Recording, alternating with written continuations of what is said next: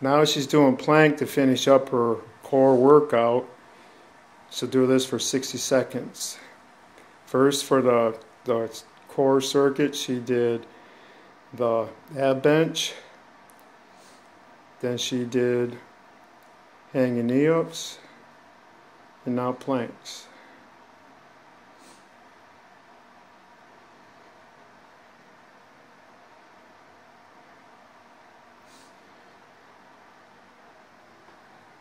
Good job. The whole key to this is keeping yourself as straight as you can, like the butt not too high. Got 10 seconds. Keep the butt down straight. Good job. Five seconds.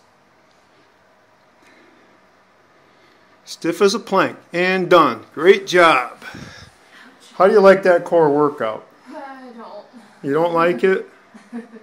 How do you like the fact that you're done? I Well, you have calves, don't you? We have some uh, sort of calves. Leg curls. We, we got a while to go yet, don't we? Wow, what did Oh, you do? Who did you get mad? We're done with it. That's good. Yep, good.